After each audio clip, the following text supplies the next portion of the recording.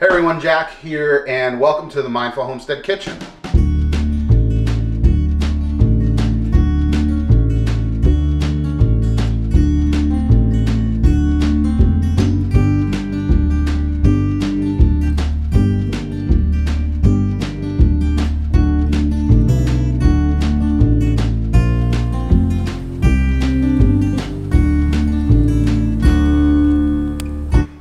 Saw yesterday's video, then you know how miserable I was outside in the cold and the wind, boiling off sap. Today my plan was to do the same thing. However, it's just as cold and windy outside. So rather than spend outside boiling off sap, um, the sap we have in the buckets right now is pretty much frozen. The lines didn't even thaw today, so sap's not running. So what I'm gonna do today is finish off the sap that we boiled yesterday. Um, normally, hey, Come here. So rather than be a glutton for punishment and do it all over again today, I am just going to boil off and or finish off the sap that we boiled yesterday. Um, this is a relatively easy process. It's best done inside. Um, you can do it outside over an open flame if you really want to, but it's not. You want to go down. The thing with doing it outside is you really want a well-controlled flame. you want a well-controlled flame under your sap to get it to the right stage. You have to be pretty precise with it. Uh, we're gonna be looking to hit 219 degrees. And at that point, it's going to be syrup. It's pretty critical. If you don't boil your sap hot enough, uh, your concentration is not going to be right and you could eventually grow mold and other bacteria inside your syrup over time. Uh, if you boil it too far, you'll have crystals forming in the bottom of your maple syrup when you store it. And while it's not the end of the world, it's syrup that you don't get to eat. It ends up forming a maple sugar at the bottom. So the tools you're going to need to finish your maple syrup off, you'll need a candy thermometer, sap filter paper, something to put your finished maple syrup in. You'll need a colander of sorts, and last but not least, you'll need your sap. That's been boiled down a good bit already, preferably. You know, it's not just a linear process that you do once and done. It kind of goes throughout the entire course of the season. But this is an ongoing process. There are days where I'll be finishing syrup inside while I'm boiling it outside. We'll keep collecting sap as long as those trees are going. Um, once the buds pop out, that's usually when we stop.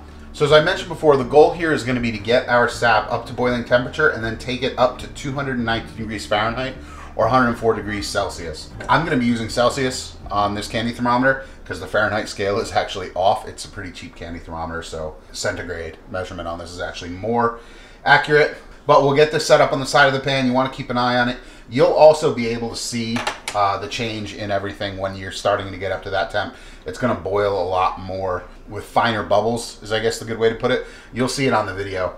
Uh, but there's some old timers out there that don't even use a thermometer. A lot of the commercial guys will use a hydrometer um, where they'll actually test the viscosity of it more than test just the temperature itself. Uh, but they're using big commercial uh, evaporators. So we'll set the candy thermometer up on the side so we can see it and we'll get the heat going on under this. You don't want to have your heat on very high just because at this point, because you're getting so high in sugar content, it'll be very easy to scorch this and burn the bottom of it. So lower and slower is always going to be better than just trying to crank on this. You know, you can always boil it a little bit longer at a lower temperature. Once you burn it, it's done. You're going to have a scorched taste of the syrup and nobody's going to want it. So we'll get this set up and uh, we'll get our heat turned on and wait for it to come up to temp.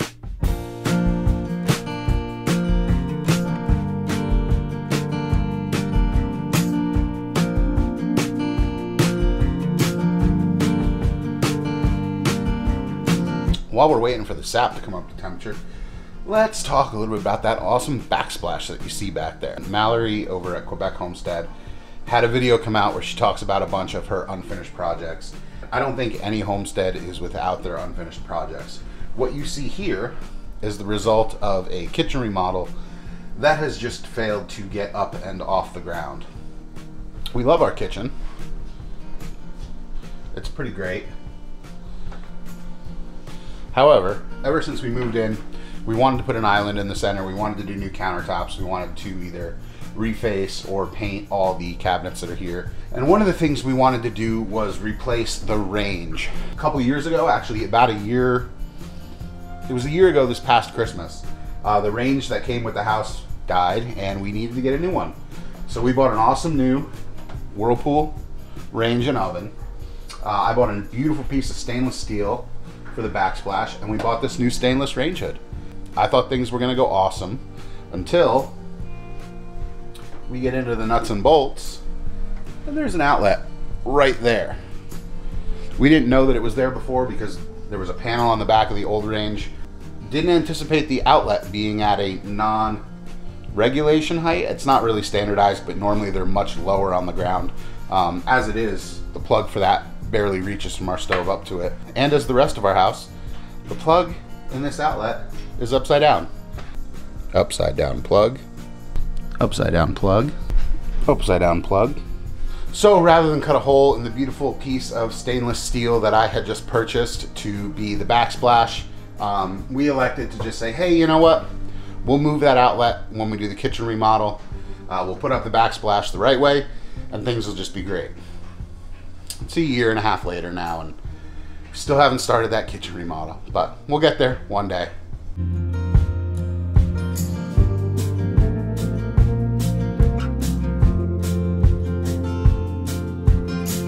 So this is the part where you really have to sit and be patient and watch it because if you're not, it could foam over really easily and then you'd lose everything, which nobody wants to do. I'm not one to cry over spilled milk, but I'll definitely cry over spilled maple syrup. As far as filter setup, I like to filter right into the jar that I'm going to be keeping it in. So I just take my filter paper and I put it over top and then I use the ring, the standard mason jar ring to hold it in place so that I can filter through there. You can grab that filter paper from any place that sells maple sugaring supplies. If you're in a bind at home and you don't have the paper or you can't find it anywhere nearby, you can use a couple layers of cheesecloth just doubled up and tuck it into the jar the same way using the band. Either way, you're gonna wanna filter your syrup hot. Just like most things, the hotter it is, the thinner the viscosity of it. And as soon as it cools down, it's gonna take a long time to go through whatever you use to filter it out. All right, so you can see our bubbles are getting tighter. We are getting pretty close. So probably any minute now. And we're gonna wanna pour this off.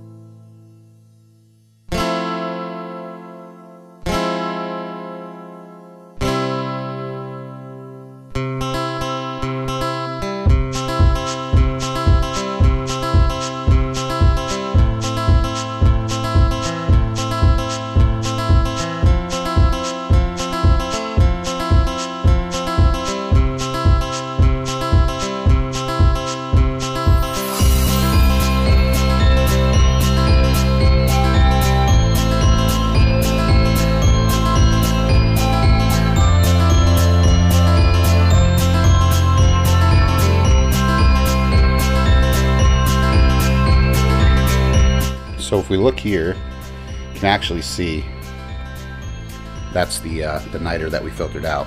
Not a lot, and again, it's not going to hurt you, but it's more or less just a quality thing. So that's it right here. This is about 15 ounces or so of syrup uh, that we got out of boiling seven gallons of sap. This is the first sap of the season. It's really light in color. Uh, that has to do with the caramelization points and the different uh, sugar compounds that are in sap as the season progresses.